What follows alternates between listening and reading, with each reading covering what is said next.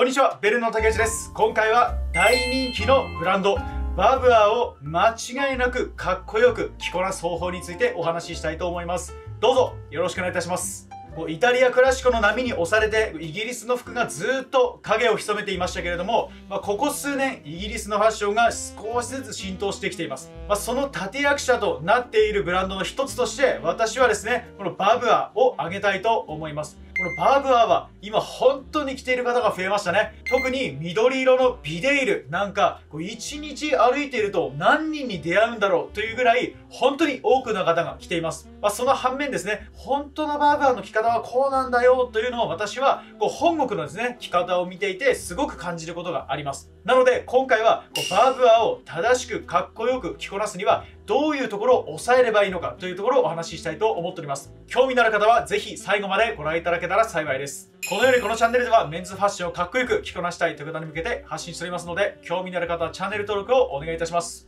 それでは早速お話ししていきたいと思います。私は2011年にこうイギリスに留学していた時がありますので、まあ、その時にですね、ほぼ毎日のようにこう飲みの市にこう出歩いては、いろいろ骨董品だったりとか、まあ、調度品、まあ、そしてヴィンテージの服も含めて、本当にこう毎日のようにこう買い漁っていたわけなんですけれども、まあ、その中でバーバーもやはりイギリスの飲みの市でこうたくさん出てきました。まあ、その時からイギリスのこうヴィンテージバイヤーの方が言っていたのは、まあ、本当に古着っていうのは数が少なくなったね。まあ、もう10年前と比べても確実に減ったし、まあ、これから先の10年を考えると、もう限りなくもうゼロに近くなっていくんじゃないかということを話していました。まあ、ゼロになることはないと思うんですけれども、まあ、確実にですね、私もこう毎年のようにこうイギリスに行っていますけれども、こう見るたびに、あ、本当にいいものっていうのが減ってきているなというのを実感します。まあ、そういったところからもこう質の高い洋服に出会っていく確率っていうのは、まあ、今後確実に少なくなっていきますので、まあ、いいものに出会ったら、もうこれは出会いだと思ってですね、こうぜひ手に入れていただきたいというふうに思っています。まあ、早速話はそれましたけれども、まあ、私はこうイギリスにいた時からこうバーブアーをいくつか持っていたんですけれども、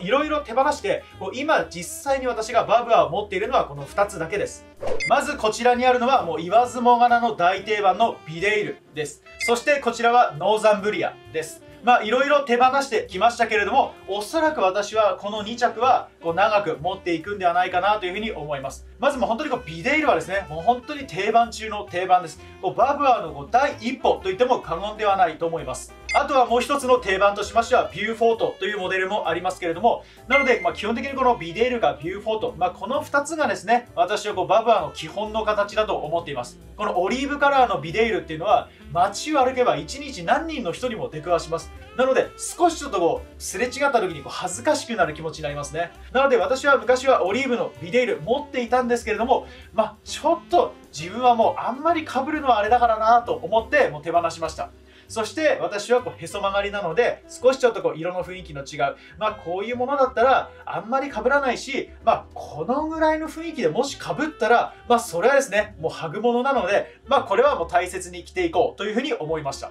まあ、もう一つのこちらはノーザンブリアです。まあ、こちらのビデールが、まあ、ちょうどお尻が隠れる丈なのに対して、まあ、こちらのノーザンブリアはちょうどこうハーフサイズのものですね。なので、このぐらいの丈であれば、まあ、冬の寒さにも耐えることができますし、まあ、これより長いコート、まあ、バーレーっていうモデルになりますけれども、まあ、このバーレーもですね、私はこうイギリスに行った時に当時買って持っていたんですけれども、まあ、そのバーレーぐらいのロング丈のコートを着る気候はですね、日本ではまず出くわすことがないので、私はですね、こう手放しました。ではこれから私がバーブアーとあまり相性が良くないアイテムについてお話ししていきたいと思います。まあ、それはですね、何かと言いますと、第1で私が挙げたいのは、ま、ズバリですね、スーツです。こうバーブアーにスーツを合わせるという着方が、まあ、最近ですね、こうちらほらと見かけるんですけれども、私はこの着こなしはあまりお勧めいたしません。こうなぜかと言いますと、このバブアーというのはですね、こう元をたどると、もう本当に作業用の服だったからですね。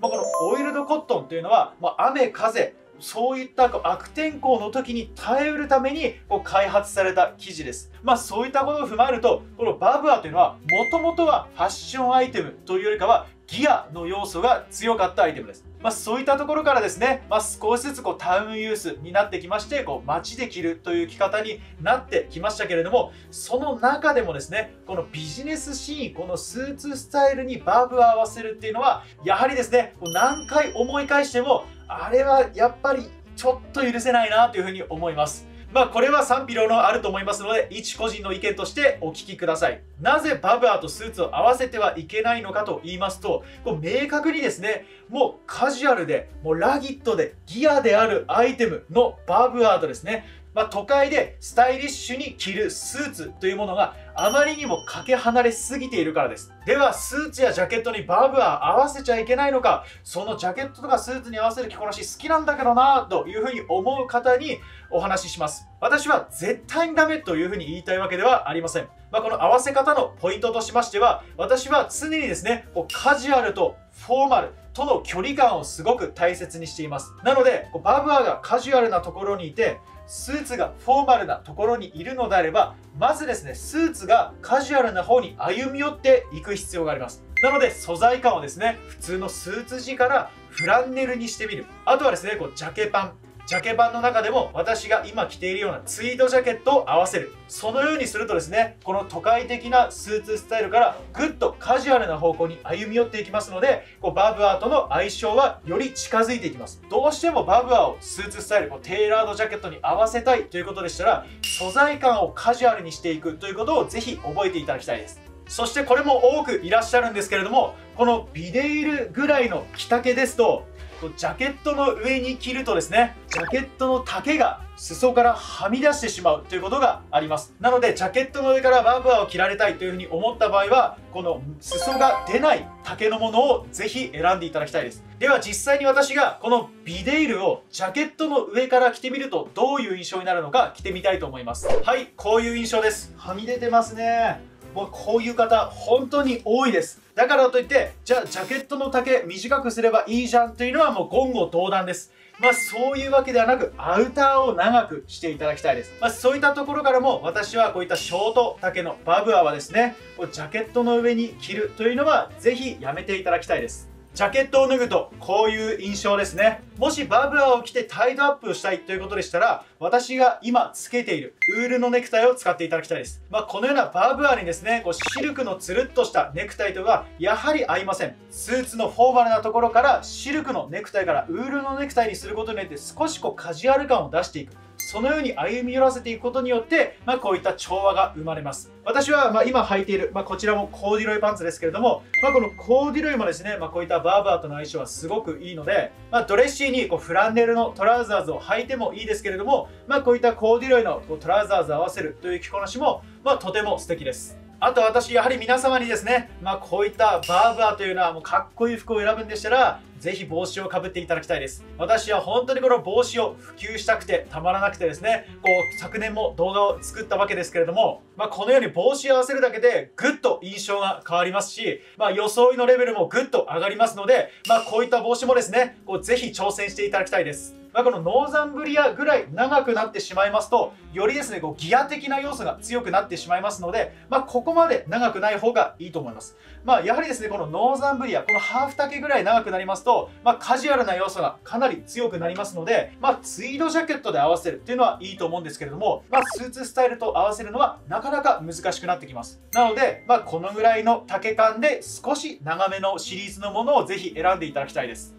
続いてこちらのハーフ丈のノーザンブリアを着てみたいと思います。はいこういった印象です。まあこれは中にこうツイードジャケット着ていますけれどもまあこのぐらいこうカントリーな雰囲気のジャケットであれば上にこうノーザンブリアを着るっていうスタイルはすごくハマりますね。まあこうこれは昨年こう古着屋さんで見つけたんですけれどももうすごくコンディションも良くてこうサイズもバッチリでうわーこれは手放す機会はないだろうなというふうにちょっと個人的に思っています。まあ年々ヴィンテージのバーバーは状態のいいものを見つけることが難しくなってきてますし、もう価格もですね、本当にどんどん上がってきていますので、いいものをもし見つけたら、ぜひですね、これは自分は長く付き合っていくんだと思って手に入れても間違いのない買い物です。あとはこれも言われているんですけれどもバーブアーといえば先ほどもお話しましたこのオイルドコットンというのがもう大定番です。ですけれども最近はこのオイルドコットンではない別の素材のバーブアーというのもできてきています、まあ、先ほどもお話しましたこうカジュアルとフォーマルの距離感で言いますとそのオイルドコットンではなくなってシンプルに普通のコットン素材。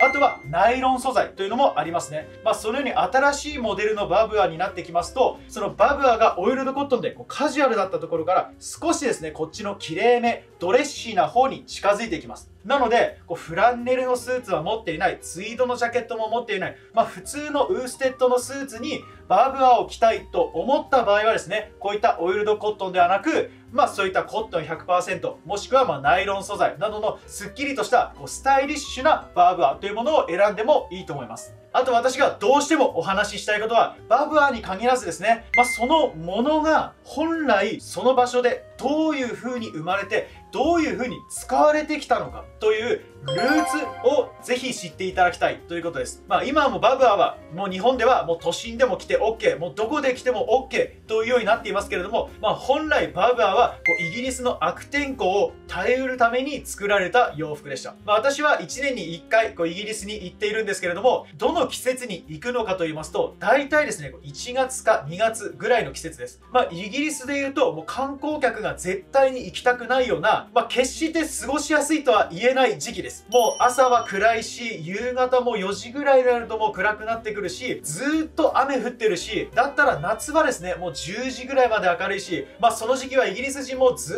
っと夜まで外で飲み明かしているという季節です。なので、一般的に考えると、この夏、春夏、秋の方が断然楽しいんですけれども、私はあえてですね、こう変態などでこう1月から2月を選んでいます。こうなぜかと言いますと、まさにですね、こういったバーブアというのは、こうイギリスのこうライフスタイルに沿った洋服の正しい着方をしている人たちがとても増える季節だからです。私が2020年の1月、もうコロナの直前にイギリスに行ってきたんですけれども、約2週間行っている間、もう10日間ぐらいずっと雨でした。私はもう心の中では自分はイギリス人だと思い込んでいるので、もう傘を差さないというふうに決めているんですけれども、まあ一日中ずっと雨がしとしと降り続いている日ですと、やはり観光客はですね、もう傘を差して歩いています。で、私もですね、こう昔見たこうシングルマンという映画でですね、こうコリン・ファースが言った一言があるんですけれども雨が降っている時にこう外に出てこうふと彼が言った一言。イギリス人は濡れ慣れてるのさ？という。私はもう日本の雨も、まあ、ザーザー降りでない限りは、まあ、イギリス人は濡れ慣れてるのさ？と自分の中に言い聞かせてちょっとそういった余韻を楽しむということをやっているんですけれどもまあそんな私でさえさすがにこれは傘ささないとびしょびしょでもう風邪ひいちゃうよねというような天気がしばらく続きます。まあそういう時に私はもう仕方なくこう傘を差してこう歩いています。まあその時はこうロンドンではなく少しこう郊外に出た時なんですけれどもまあその時にですねこうワンちゃんを散歩しているこう老夫婦が歩いてきたんですよ。こうもちろん傘を差していません。どういうファッションしていたかと言いますと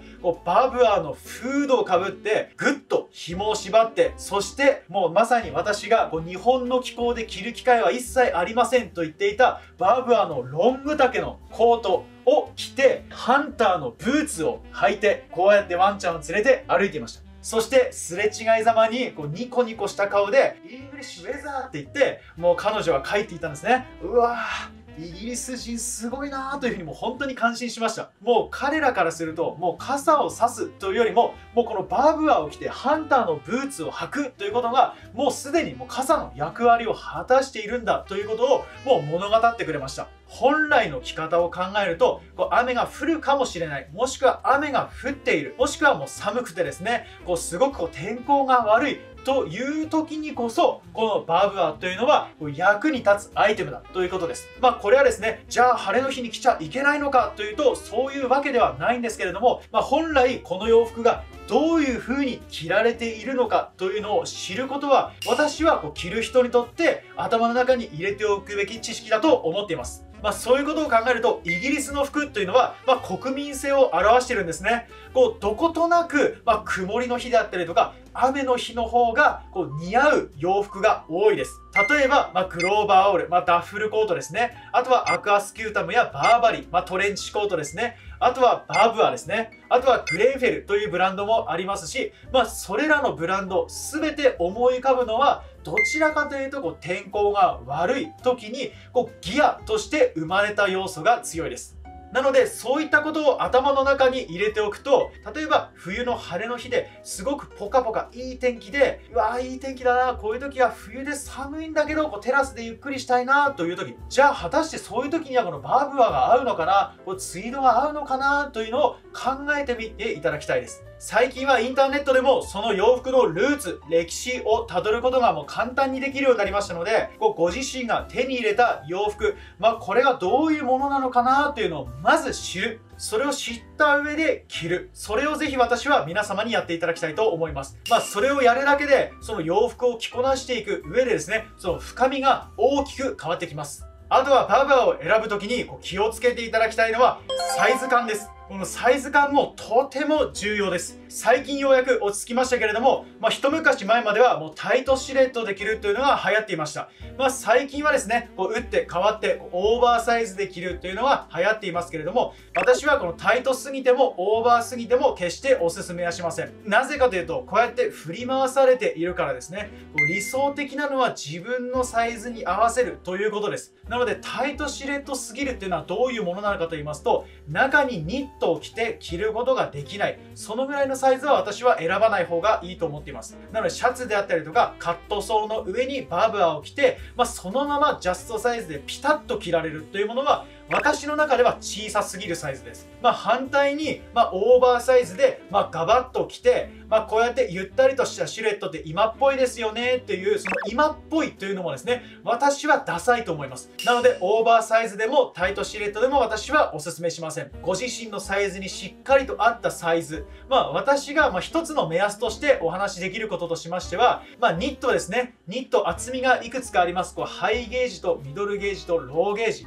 まあ、このローゲージっていうのは一番ざっくりとした厚いニットのことを指しますけれどもこのローゲージニットを着た上にバブアを着て着られるぐらいのサイズのものを選んでいただきたいです。まあ、そのぐらいのサイズのものであれば、例えばシャツであったりとか、ハイゲージニットを着た時に着ると、少しゆったりとした雰囲気になります。まあ、こういったですね、こう、タイムレスな時代に流されないものは、少しゆったりとしたフィッティングのものの方が望ましいです。なぜかと言いますと、人は年とともに感覚が変わっていきます。そうやってタイトであったりシルエットで遊ぶっていうのは若いうちは楽しいんですけれども、少しずつ年を重ねてくると、まあ、普通にシンプルに間違いのないものを着たいよねという年齢に差し掛かった時に、その10年前に買ったタイトシルエットのものっていうのがもう着ることができなくなっちゃうからです。まあ、その時に、その10年前にまあ少し一回り大きめぐらいのゆったりとしたサイズのものを着ている。まあそれが年月が経っていった時に、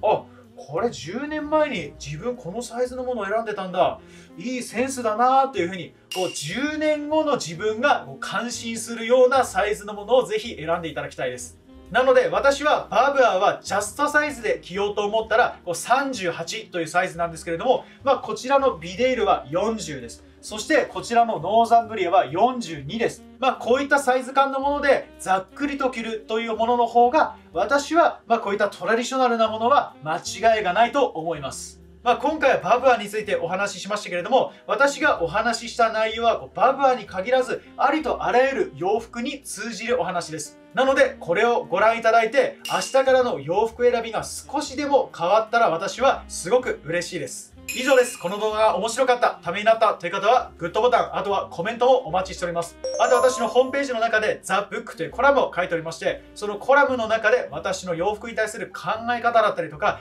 歴史から基づいた洋服のあり方などについて詳しく書いておりますので、洋服のことをもっと詳しく知りたいという方は、概要欄に貼っておきますので、ご覧いただけたら幸いです。あと私の日々のコーディネートもインスタグラムにアップしておりますので、そちらもぜひご覧いただけたら幸いです。それではまたアップいたしますので、よろしくお願いいたします。どうもありがとうございました買ってしまいましたもう1着ソルウェイジッパー。もうこれはですね、結構古いものです。ロイヤルワラントっていう、こう、王室御用達というマークがあるんですけれども、まあ、これがこう2ワラント入っている当時のもので、まあ、それでいて、この純正のベルトがしっかりと残っていて、当時のオイルもしっかりと残っている素晴らしいコンディションのものですね。高円寺で見つけてしまいました。これで私が今持っているバーバーは先ほどご紹介したビデールとノーザンブリアに続いて3着目になりましたまあ、これサイズなんですけれども、最初にご紹介したビデールは40、そして2つ目にご紹介したノーザンブリアが42というサイズです。で、こちらはですね、サイズがなんと44というサイズです。まあ、44というサイズを聞いて、すごく大きく感じるんですけれども、まあ、こちらはもうベルトでグッと縛ってですね、変な大きさを感じることなく、ぐっと男らしくかっこいいサイズ感になります。まあ、先ほども言いましたけれども、私はやはりですね、こうバーブアーはこのぐらいのサイズ感の方がかっこいいんじゃないかなというふうに思います。是非ご自身のお気に入りのバーブアーを探してみてください。どうもありがとうございました。